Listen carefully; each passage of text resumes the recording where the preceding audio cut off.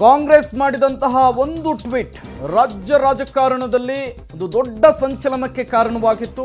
ಇದೇ ವಿಚಾರಕ್ಕೆ ಸಂಬಂಧಪಟ್ಟಂತೆ ಇವತ್ತು ಮಾನ್ಯ ಮುಖ್ಯಮಂತ್ರಿಗಳಾದ ಬಸವರಾಜ ಬೊಮ್ಮಾಯಿ ಅವರು ಕ್ಲಾರಿಫೈ ಮಾಡಿದ್ದಾರೆ. ಸಿಎಂ ಬದಲಾವಣೆಯ ಊಹಾಪೋಹಕ್ಕೆ ಈ ಮೂಲಕ ಬ್ರೇಕ್ ಬಿದ್ದಿದೆ. ಭೇಟಿ ಮಾಡಿದಾಗ ರಾಜ್ಯದ ರಾಜಕೀಯ ಪರಿಸ್ಥಿತಿಗಳ ಬಗ್ಗೆ, ಇತರೆ ವಿಷಯಗಳ ಬಗ್ಗೆ ಚರ್ಚೆ ಮಾಡಿದ್ದೀವಿ ಹೊರತು ಯಾವ ಕಾರಣಕ್ಕೂ ನಾಯಕತ್ವ ಬದಲಾವಣೆ ಬಗ್ಗೆ ಚರ್ಚೆ ನಾವು ಮಾಡಿಲ್ಲ. ಆ ಪ್ರಶ್ನೆ ಉದ್ಭವ ಆಗೋದಿಲ್ಲ ಈಗಿರೋ ಮುಖ್ಯಮಂತ್ರಿಗಳೇ ಇನ್ನು ಎಂಟು ತಿಂಗಳು ಪೂರ್ಣ ಅವಧಿ ಮುಂದುವರಿತಾರೆ ಅನ್ನೋ ವಿಶ್ವಾಸ ನೂರಕ್ಕೂ ನನಗಿದೆ ನಮ್ಮ ನಾಯಕತ್ವದ ಬಗ್ಗೆ, ಬದಲಾವಣೆ ಬಗ್ಗೆ ನಿಮಗೆ ಹೇಳುವಂತ ನೈತಿಕ ಅಧಿಕಾರ ಇಲ್ಲ. ಕಾಂಗ್ರೆಸ್ ದೇಶದಲ್ಲಿ ಮಣ್ಣುಮುಕ್ತಾ ಇದೆ. ತಳನೇ ಇಲ್ಲ. ಅವ್ರು ಕಾಂಗ್ರೆಸ್ ಪಾರ್ಟಿ ಪ್ರೆಸಿಡೆಂಟ್ ಮಾಡ್ಗಣಕ್ಕೆ ಯೋಗ್ಯತೆ ಇಲ್ಲ ಇಲ್ಲಿ. ಇನ್ನ ಬೀದಿ ಬೀದಿ ಅಲಿತಾ ಇದ್ದಾರೆ. ಯಾರು ಮಾಡಬೇಕು, ಯಾರು ಮಾಡಬಾರ್ದು ಅಂತೇಳಿ ಯಡಿಯೂರಪ್ಪನವರು ಆದಾಗಿಂದ ಆರು ತಿಂಗಳಿಗೆ ಶುರು ಚೇಂಜು ಚೇಂಜು ಅಂತ ಹೇಳಿದ್ರಿ. ಮುಖ್ಯಮಂತ್ರಿಗಳದ್ದು ಒಂದು ವರ್ಷ ಆಗಿದೆ. ಆಗಲೇ ಶುರು. ನಮ್ಮ ಮುಖ್ಯಮಂತ್ರಿ ಬಸವರಾಜ ಬೊಮ್ಮಾಯಿ ಅಂತ ಹೇಳಿದ್ರಿ. ನಿಮಗೆ ದಮ್ಮಿದ್ರೆ, ತಾಕತ್ತಿದ್ರೆ, ನಿಮ್ಮ ಮುಖ್ಯಮಂತ್ರಿ ಕ್ಯಾಂಡಿಡೇಟ್ ಯಾರು ಅಂತ ಹೇಳುವಂತ ಯೋಗ್ಯತೆ ಕಾಂಗ್ರೆಸ್ ಇದೆಯಾ ಅಂತ ಪ್ರಶ್ನೆ ಮಾಡ್ಕೊಳ್ಳಿ ನೀವು. ಬಸವರಾಜ ಬೊಮ್ಮಾಯಿಯವರು ಇವತ್ತು ಆಡಳಿತ ನಡೆಸುವಂತ ರೀತಿ ನೋಡಿ ಅವ್ರಿಗೆ ತಲೆ ಕೆಟ್ಟೋಗಿದೆ ಕಾಂಗ್ರೆಸ್ನವರಿಗೆ. ಬೊಮ್ಮಾಯಿಯವರ ಅಧಿಕ ಅಭಿವೃದ್ಧಿ ಕೆಲಸ ಬೊಮ್ಮಾಯಿಯವರ ನಡವಳಿಕೆ, ಇದು ಅವ್ರನ್ನ ಕಂಗೆಡಿಸಿದೆ. ಹಾಗಾಗಿ ಇದನ್ನ ಮಾಡ್ತಾ ಇದ್ದಾರೆ. ಒಂದು ಮೂರ್ಖತನದ ಟ್ವೀಟ್ ಅದು. ಬಿಜೆಪಿ ಮುಖ್ಯಮಂತ್ರಿಯನ್ನ ಕಾಂಗ್ರೆಸ್ನವ್ರು ಹೆಂಗ್ರಿ ಬದಲಾಯಿಸ್ತಾರೆ? ಈ ರೀತಿ ಸುಳ್ಳು ಹೇಳ್ತಾನೆ ಸುಳ್ಳು ಹೇಳ್ತಾನೆ ತಮ್ಮ ಇಮೇಜ್ ಜಾಸ್ತಿ ಮಾಡ್ಬೋದು ಅಂತ ಅಂತ ಹೇಳಿ ಅಂದ್ಕೊಂಡಿದ್ದಾರೆ. ಜನ ನಗ್ತಾ ಇದ್ದಾರೆ ಇದ್ರ ಬಗ್ಗೆ. ಎಲ್ಲ ಅಳದು ತೂಗಿ ಬಸವರಾಜ ಬೊಮ್ಮಾಯಿ ಅವರನ್ನ ಮುಖ್ಯಮಂತ್ರಿಯಾಗಿ ಮಾಡಿದೆ. ಅವ್ರ ನೇತೃತ್ವದಲ್ಲೇ ಚುನಾವಣೆಗೆ ಹೋಗ್ತೀವಿ ಅಂತ ಅಮಿತ್ ಶಾ ಅವರು ಹೇಳಿದ ಮೇಲೆ ನಮ್ಮ ಪಕ್ಷದ ಮುಖ್ಯಮಂತ್ರಿ ಬಗ್ಗೆ ಹೇಳಕ್ ಇವ್ರು ಯಾವ ಊರು? ದಾಸಪ್ಪ ರೀ. ಅನುಮಾನಂ ಪೆದ್ದ ರೋಗಂ ನೋಡಿ ನಮ್ಮ ಸನ್ಮಾನ್ಯ ಮುಖ್ಯಮಂತ್ರಿಗಳು ಸಾಕಷ್ಟು ಅನುಭವ ಇರುವಂಥವ್ರು ಸಾಕಷ್ಟು ಅನುಭವ ಹಲವಾರು ವರ್ಷದ ಅನುಭವ. ಹಾಗಾಗಿ ಅವರ ಅನುಭವ, ತಿಳುವಳಿಕೆ, ಜ್ಞಾನ ಎಲ್ಲವೂ ಇದೆ. ಅವ್ರಿಗೆ ಯಾವ ರೀತಿಯಾದಂಥ ಬೇರೆಯವ್ರಂಗೆ ಸಹಕಾರ ಬೇಕಿಲ್ಲ, ಅಡ್ವೈಸರ್ ಬೇಕಿಲ್ಲ, ಮಾರ್ಗದರ್ಶಕರು ಏನು ಬೇಕಿಲ್ಲ. ಅವರು ಸ್ವಂತ ಬುದ್ಧಿ, ಸ್ವಂತ ಯೋಚನೆ ಬೇರೆಯವ್ರಿಗಾರ ತುಂಬ ಡಿಪೆಂಡೆನ್ಸಿ ಇದೆ.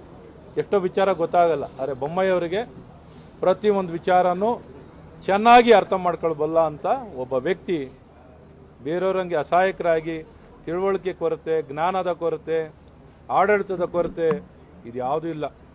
ಬೇರೆ ಯಾವುದೇ ಮುಖ್ಯಮಂತ್ರಿಗಳು ಹೋಲಿಸ್ಕೊಳ್ಳಿ, ಯಾವುದೇ ಬೇರೆ ಮುಖ್ಯಮಂತ್ರಿಗಳು ಹೋಲಿಸ್ಕೊಂಡಾಗ ಬೇರೆಯವ್ರಿಗಾದ್ರೆ ತುಂಬ ಹ್ಯಾಂಡಿಕ್ಯಾಪ್ಸ್ ಇದ್ದಾರೆ ಇವ್ರಿಗೆ ಯಾವ ಹ್ಯಾಂಡಿಕ್ಯಾಪ್ ಇಲ್ಲ.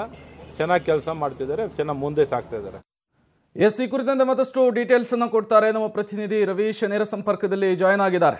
ರವೀಶ್, ರಾಜ್ಯ ಬಿಜೆಪಿಯಲ್ಲಿ ಆಗ್ತಾ ಇರುವಂತಹ ಬೆಳವಣಿಗೆಯ ಕುರಿತು ಕಾಂಗ್ರೆಸ್ ಸರಣಿ ಟ್ವೀಟ್ ಅನ್ನ ಮಾಡಿತ್ತು.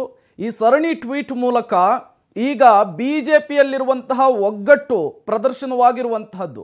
ಇದು ಬಸವರಾಜ ಬೊಮ್ಮಾಯಿ ಅವರಿಗೆ ಮತ್ತಷ್ಟು ಬಲ ತಂದುಕೊಂಡಂತೆ ಕಾಣಿಸ್ತಾ ಇದೆ. ಜೊತೆಗೆ ಈ ಕಾಂಗ್ರೆಸ್ಗೆ ಮುಜುಗರದ ಪರಿಸ್ಥಿತಿಯನ್ನು ತಂದಿಟ್ಟಂತೆ ಕಾಣಿಸ್ತಾ ಇದೆ. ಪ್ರೇಮ್, ಖಂಡಿತವಾಗಿ ಕೂಡ ಕಾಂಗ್ರೆಸ್ನ ಟ್ವೀಟ್ ಏನಿತ್ತು, ಇದು ಬಿಜೆಪಿಯಲ್ಲಿ ಸಂಚಲನವನ್ನೇ ಉಂಟು ಮಾಡ್ತಾ ಇತ್ತು. ಜೊತೆಗೆ ಎಲ್ಲೋ ಒಂದು ಕಡೆ B C M Basavaraja Bommai ಅವರ ಪರ ಎಲ್ಲ ಸಚಿವರುಗಳು ಕೂಡ ಒಂದು ರೀತಿಯಲ್ಲಿ ಬ್ಯಾಟಿಂಗನ್ನು ಕೂಡ ನಡೆಸಿ ಅವರ ಬೆಂಬಲಕ್ಕೆ ನಿಂತರು. ಹಾಗಾಗಿ ಕಾಂಗ್ರೆಸ್ನ ಟ್ವೀಟ್ ಅಸ್ತ್ರಕ್ಕೆ ಎಲ್ಲೋ ಒಂದ್ ಕಡೆ ಬಿಜೆಪಿಯ ಒಗ್ಗಟ್ಟಿನ ಒಂದು ಪ್ರತ್ಯಾಸ್ತ್ರ ಏನಿತ್ತು, ಅದು ಒಂದು ರೀತಿಯಲ್ಲಿ ಯಶಸ್ವಿಯಾಗಿದೆ ಸದ್ಯದ ಮಟ್ಟಿಗೆ ಅಂತಲೂ ಕೂಡ ಹೇಳ್ಬೋದಾಗಿದೆ.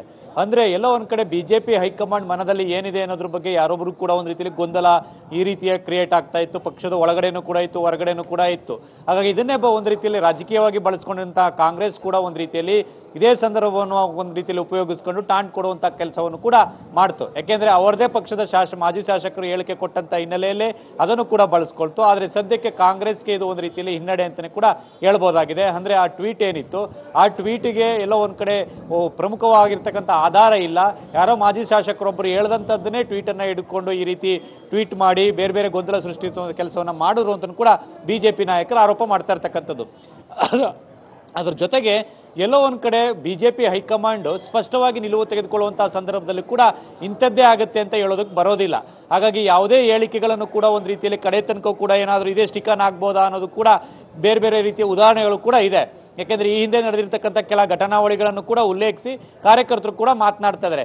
ಹಾಗಾಗಿ ಸ್ವತಂತ್ರೋತ್ಸವದ ಬಳಿಕ ಸಂಘಟನೆಯಲ್ಲಿ ಕೆಲ ಬದಲಾವಣೆಯನ್ನು ಮಾಡಬಹುದು ಅನ್ನೋದ್ರ ಬಗ್ಗೆ ಕೂಡ ಕೆಲ ಮಾತುಗಳು ಕೇಳಿ ಬರ್ತಾ ಇದೆ. ಹಾಗಾಗಿ ಇದೇ ಸಂದರ್ಭದಲ್ಲಿ ಕೆಲ ಬದಲಾವಣೆ ಸರ್ಕಾರದಲ್ಲಿ ಆಗ್ಬೋದಾ ಅನ್ನೋದ್ರ ಬಗ್ಗೆ ಕೂಡ ಇನ್ನೂ ಕೂಡ ಮಾತುಗಳು ನಿಂತಿಲ್ಲ. ಆ ಮಾತುಗಳು ಕೂಡ ಮುಂದುವರಿತಾ ಇದೆ. ಆದರೆ ಸದ್ಯಕ್ಕೆ ಎಲ್ಲೋ ಒಂದ್ ಕಡೆ ಬಿಜೆಪಿ ಹೈಕಮಾಂಡ್ನಿಂದ ಅಭಯ ಸಿಕ್ಕಿದೆ ಅಂತ ಸಿಎಂ ಅವರ ಆಪ್ತರು ಅವ್ರ ಕಡೆಯವರೆಲ್ಲ ಕೂಡ ಹೇಳ್ಕೊಳ್ತಾ ಇದ್ದಾರೆ ನಮಗೆ ಆಪ್ತರ ಕರೆ ಬಂದಿದೆ ನಮ್ದು ಒಂದು ರೀತಿಯಲ್ಲಿ ಬಲ ಸಿಕ್ಕಿದೆ ಬೊಮ್ಮಾಯಿ ಅವರಿಗೆ ಅಂತ ಅವ್ರ ಆಪ್ತರು ಹೇಳ್ಕೊಳ್ತಾರೆ.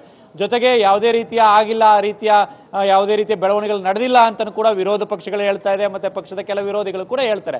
ಹಾಗಾಗಿ ಅಂತಿಮವಾಗಿ ಬಿಜೆಪಿ ಹೈಕಮಾಂಡ್ ಇದಕ್ಕೆ ಸ್ಪಷ್ಟಪಡಿಸಬೇಕಾಗುತ್ತೆ. ಹಾಗಾಗಿ ಹೈಕಮಾಂಡ್ ನಾಯಕರು ಬಾಯಿ ಬಿಟ್ಟಿಲ್ಲ ಆದರೂ ಕೂಡ ಸದ್ಯಕ್ಕೆ ಬಸವರಾಜ ಬೊಮ್ಮಾಯಿ ಅವರು ಈಗ ಏನು ಹೇಳಿ ನಾನು ಸ್ಥಿತಪ್ರಜ್ಞನಾಗಿದ್ದೇನೆ ಅದೆಲ್ಲವೂ ಯಾವುದೇ ರೀತಿಯ ಸತ್ಯ ನನಗೆ ಗೊತ್ತಿದೆ ಅನ್ನೋ ಮಾತೇನಿದೆ. ಹಾಗಾಗಿ ಸದ್ಯದ ಮಟ್ಟಿಗೆ ಒಂದು ರೀತಿಯಲ್ಲಿ ನಿರಾಳ ಅಂತಲೇ ಹೇಳ್ಬೋದಾಗಿದೆ. ಹಾಗಾಗಿ ಮುಂದೆ ರಾಜಕೀಯ ಬದಲಾವಣೆಗಳು ಏನ್ ಬೇಕಾದರೂ ಆಗ್ಬೋದು. ಹಾಗಾಗಿ ರಾಜಕಾರಣದಲ್ಲಿ ಹೀಗೆ ಇರುತ್ತೆ ಅಂತ ಹೇಳೋದಕ್ಕೆ ಬರೋದಿಲ್ಲ. ಹಾಗಾಗಿ ಮುಂದೆ ಏನಾಗುತ್ತೆ ಅನ್ನೋದು ಕೂಡ ಕಾದ್ ನೋಡಬೇಕಾಗಿದೆ. ಸದ್ಯಕ್ಕಂತೂ ಎಲ್ಲೋ ಒಂದ್ ಕಡೆ ಕಾಂಗ್ರೆಸ್ನ ಟ್ವೀಟ್ಗೆ ಬಿಜೆಪಿ ಎಲ್ಲರೂ ಕೂಡ ಒಗ್ಗಟ್ಟಿನಿಂದಲೇ ಒಂದ್ ರೀತಿಯಲ್ಲಿ ಪ್ರತಿ ಏಟ್ ಕೊಟ್ಟಿರ್ತಕ್ಕಂಥದ್ದು Prem. Okay thank you Ravish, ತಮ್ಮೆಲ್ಲ ಮಾಹಿತಿಗಾಗಿ.